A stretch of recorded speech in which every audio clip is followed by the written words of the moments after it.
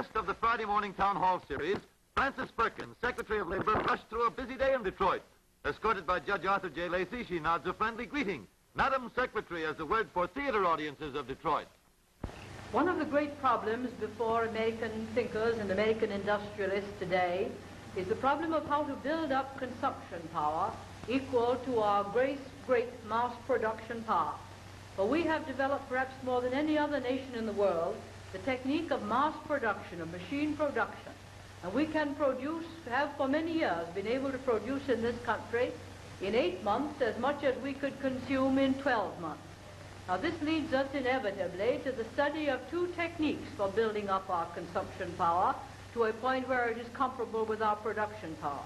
First, the technique of shortening the hours of labor per day and per week, and second, the technique of raising the income, the wage income or the cash income of those persons who are engaged in employment in the mass production and other industries.